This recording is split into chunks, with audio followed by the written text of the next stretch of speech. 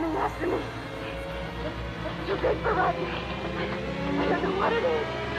It's it's getting on me. I can't, I can't let it touch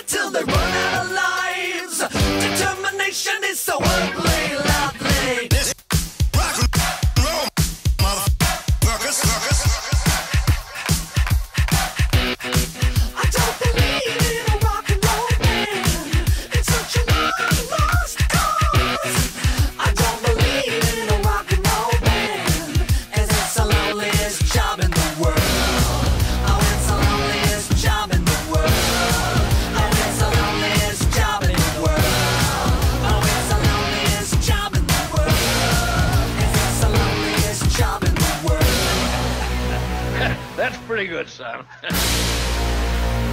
That's pretty good.